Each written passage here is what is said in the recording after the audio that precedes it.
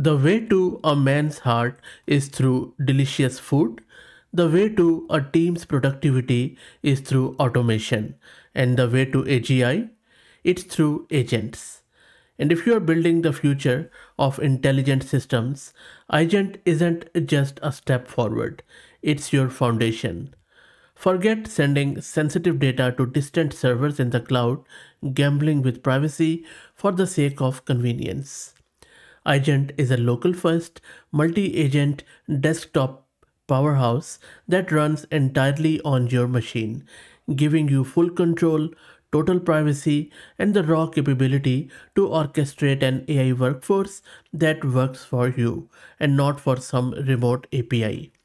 This is Fahd Mirza and I welcome you to the channel. Please like the video and subscribe and consider becoming a member of the channel as that supports a lot and helps a lot. I have been covering this Eigent project for a long time and I believe that this is one of the select few which makes a cut to the actual autonomous agentic software. As I said, Eigent is a local first software and in this video I'm going to show you step by step as how to create it locally very very easily. So let's get started. This is my Ubuntu system and I have one GPU card which is NVIDIA RTX A6000 with 48 GB of VRAM. The good thing about Eigent is that you can easily run it on CPU but the thing is and the fair point and harsh reality maybe is that for any real world productive task you would need GPU. Okay so first up let me create a virtual environment with Conda let's wait for it to get created and if you're looking to rent a GPU or CPU or VM on very good prices you can find the link to Massed Compute with a discount coupon of 50% for range of GPUs in the video's description. Okay, let's go back. Our virtual environment is created. Next up, let's git clone the repo of Eigent which I just showed you on the screen and I'm also going to drop the link to it in videos description. It's a very lightweight repo. Now, there are a couple of prerequisites which you need to have before you proceed further. One is node version. So make sure you have a recent version of node and you should have npm installed. If you don't know how to get them installed, just search my channel and I have done a very easy to follow video. Last but not least prerequisite you need to have is that Docker. And again go with any recent docker version. If you don't know how to get it installed just search my channel. You should be able to find a very easy to understand video. Now the first step in terms of installing this Eigent locally is to go and spin up the backend server. So just cd to the server directory within the local repo. Now if you ls into this directory you will see that there are a few files related to the project. Plus you should be able to find an environment file which you can check with ls-la. And there you go. You can see that there is .env .example. Just simply rename it to .env let me also sorry let me just open it in the VS code to show you how it looks like so primarily what this backend is doing, it is starting a Postgres database in a container plus Eigent API server. So let's go back and let's run this with the Docker compose from the server directory. And first time when you run it, it is going to download it and it is going to spin it up. So let's wait. Should not take too long and everything is now running here as you can see everything is healthy you can also check it with docker ps and there are various other commands which you can run in order to check it out now at this point in time what has happened so far is that everything is running locally. The postgres sql container which I just saw it holds the database and we also have the Eigent API and it so everything is local by design which ensures your privacy. Next up just let's go one step back. And again if you do lsla you will find various files. Uh, the file which i want to show you is this .env .development. If you go back to your vs code window and then if you just check that .env.development file and this is what it looks like you can see that we are specifying the proxy url to the local which primarily tells the front end to use the local backend. If you replace it with uh, the, their cloud services you can you will be redirected to the cloud. So that is all you needed to do. Let's go back and now let me install this.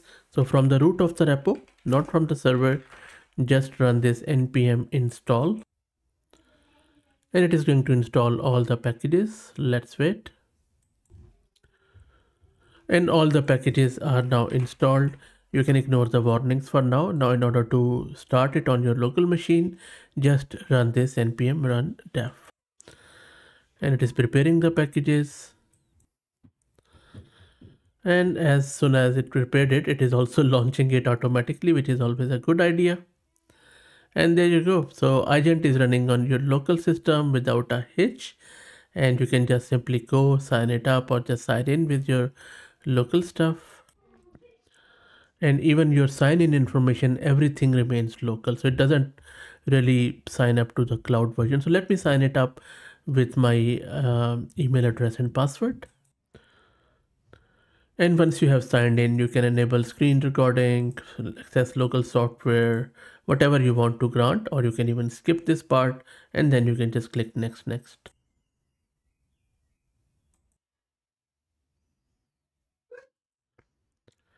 And first time it just takes a minute to just install everything. And then it becomes ready. And there you go, the Eigent client is running locally now the first step you would need to do is to just click on this cog icon at the top right. I have done uh, this explanation by the way in heaps of videos here where I have tested Eigent very very in depth on various use cases. So just search with Eigent but I'm just very quickly going to show you how to set up the model. So once you click on this cog icon on the here you can simply go on the model side. And then from there you can go with any model like Gemini, OpenAI, Anthropic, Qwen and interestingly enough you can also set up Ollama model. So Ollama is already selected here. VLLM, SGLang, the, there are heaps of options. This is a you know endpoint which is uh, by default it just goes with the Ollama defaults at port 11434 and then you can just give uh, any Ollama model here. And that's it. You can also check it by clicking on verify icon another cool thing about Eigent is that you can have mcp2 MCPN tools. Like you can install a lot of tools there so that you would be able to access external apis external tooling like you know google search or any other mcp server. Mcp is just a standardized way of accessing external apis um, you don't have to worry about the implementation. You just have to do the call there. And I have done a full tutorial on MCP if you're interested on the channel. Now I have Ollama running on my local system and I'm going to use this GPT OSS for this.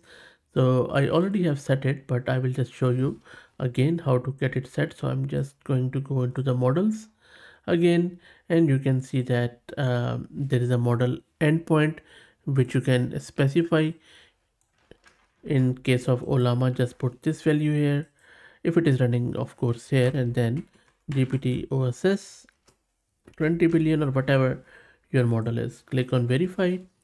It is going to verify your local. There you go. So you're on self-host mode. Just close it. And then from there just click on this X to get out of here. So for instance when I ask it to devise me a plan to lose 5 kg weight in a month, you see that it has splitted the tasks.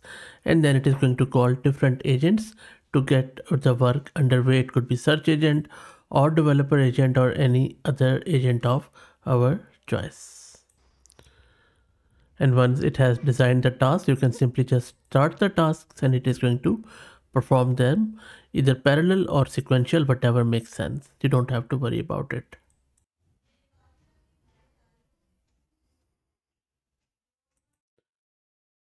and the search engine has done its work and you can see that now document engine is processing its subtasks. So this all orchestration happens behind the scene. And there you go. It has created the full plan with the um, tracking and all the daily weight measurement slots. And it is step by step.